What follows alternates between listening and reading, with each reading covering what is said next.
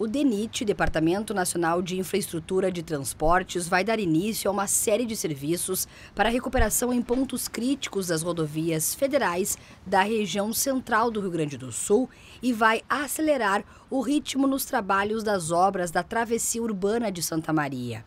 Nestas frentes de trabalho está previsto um investimento de mais de 58 milhões de reais.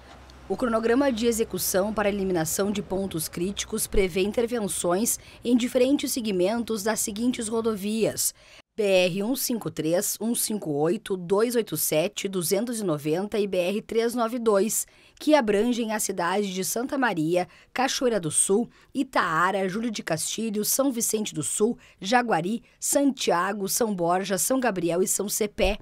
Nestes trechos, ao todo, serão investidos 43 milhões de reais em serviços de manutenção e sinalização para a recuperação das condições de trafegabilidade em 104 quilômetros das estradas federais que são administradas pelo DENIT.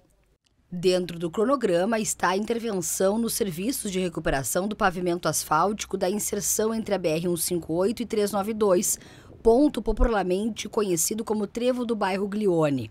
Para a realização dos trabalhos, vai ter alteração no trânsito, com bloqueios parciais e estreitamento de pista, conforme o andamento e a necessidade do serviço.